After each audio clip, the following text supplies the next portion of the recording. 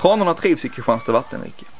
När kylan försvinner landar de på sin resa norrut i tusental vid pulken, någon mil söder om Kristianstad.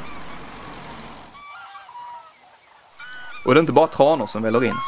Tusentals människor från Sverige, Danmark och Tyskland kommer också till platsen för att följa det överväldigande skådespelet i ett par veckor runt april.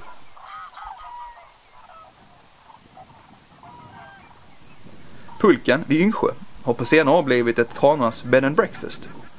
Tranorna äter av den mat som läggs ut av bönderna för att fåglarna ska låta bli fälten runt omkring. En sorts överenskommelse mellan tranor och människor alltså.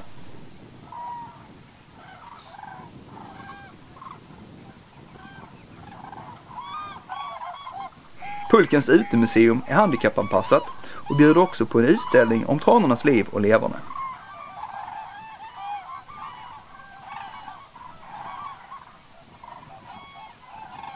Medlemmar från Vattenriket och nordöstra Skånes fågelklubb finns ofta på plats för att dela med sig av sin kunskap om de stora grå fåglarna till alla intresserade.